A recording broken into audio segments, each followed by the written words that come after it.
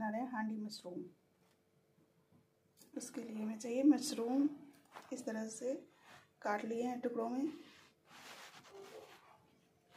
और ये है हांडी मेरा। तो चलिए बनाना शुरू कर रहे हैं। एक कढ़ाई गरम कर लिए हैं, इसमें तेल भी डालकर गरम कर लिए हैं और एक कटा हुआ प्याज इसे फ्राई कर लेंगे। बिल्कुल गोल्डन ब्राउन कर लेंगे इसे। एक प्याज है मीडियम साइज़ का। और इसे पतला पतला काट लिए और इसे फ्राई कर लेंगे। ये देखिए फ्राई हो चुका है। अब इसे निकाल लेंगे। अब मशरूम को एक बर्तन में ले लेंगे। इसमें निकालेंगे मशरूम और इसमें डाल देंगे दो खड़ा लहसुन। अब इसमें डाल देंगे एक चम्मच लहसुन का पेस्ट। एक चम्मच से थोड़ा सा ज़्यादा डालें। और ये है थोड़ा सा कटा हुआ लहसुन। इससे बहुत अच्छा टेस्ट आता है।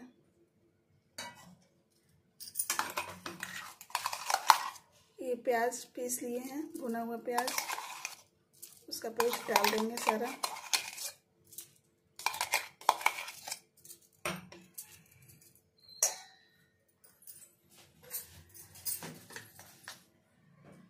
अब इसमें डालेंगे स्वाद अनुसार नमक।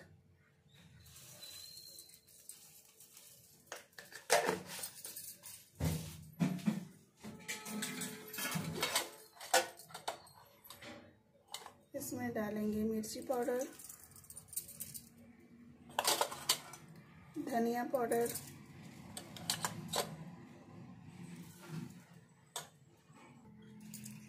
अब इसे अच्छे से मिक्स कर लेंगे।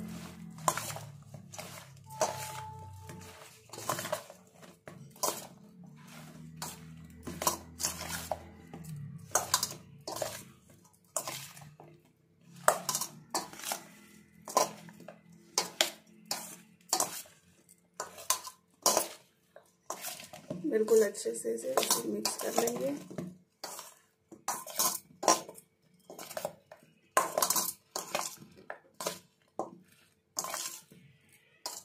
और 10 मिनट के लिए ढक देंगे इसे।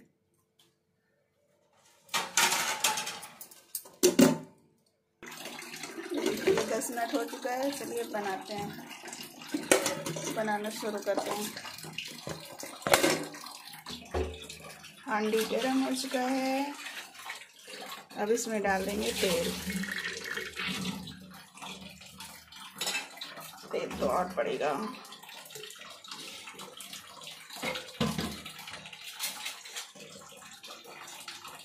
तेल डाल देंगे। अब इसमें डाल देंगे खड़ा मसाला। इसमें तेज पत्ता है, लाल मिर्च है। दालचीनी, बड़ी इलायची, छोटी इलायची, लौंग, सारा डाल देंगे इसमें।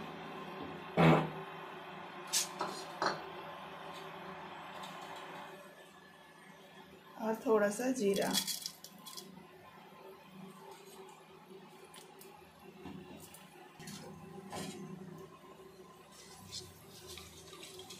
इसे अच्छे से थोड़ा सा तड़कने देंगे।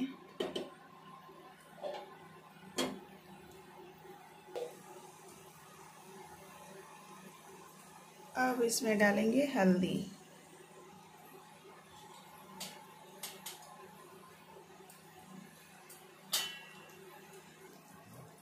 अब इसमें डाल देंगे ये मशरूम। सारा मशरूम डाल देंगे इसमें।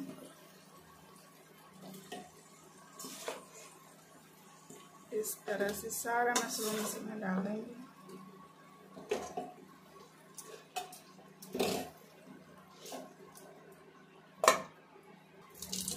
अब इसे ऐसे चलाकर फ्राई कर लेंगे।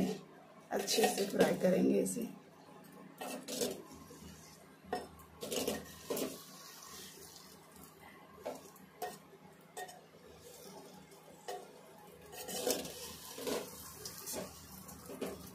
हांडी मशरूम।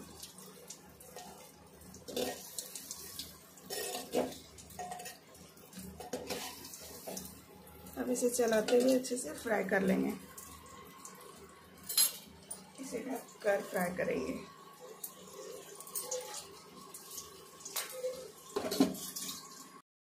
इसे देखते हैं चलाकर ये देखिए, इस तरह से पानी छोड़ दिया है ये। अब इसे अच्छे से फ्राई करेंगे। ताकि मशरूम भी सीज जाए और ये लहसुन भी सीज जाए अच्छे से अच्छे से पके। इसे हल्के से चला देंगे।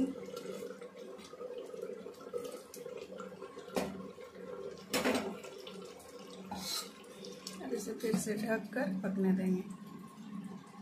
तो चलिए देखते हैं। ये देखिए, भुना चुका है। पूरा अच्छे से भुना चुका है।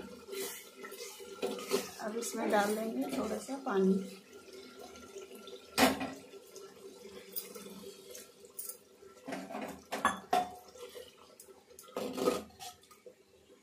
थोड़ा सा पानी डाल दिए हैं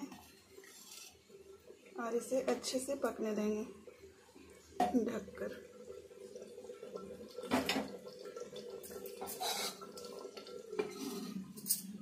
देखते हैं सब्ज़ी तैयार हुआ या नहीं। ये देखिए सब्ज़ी। सब्ज़ी बनकर तैयार हो चुका है।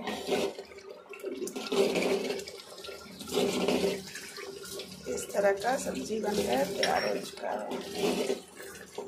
गैस को ऑफ़ कर देते हैं।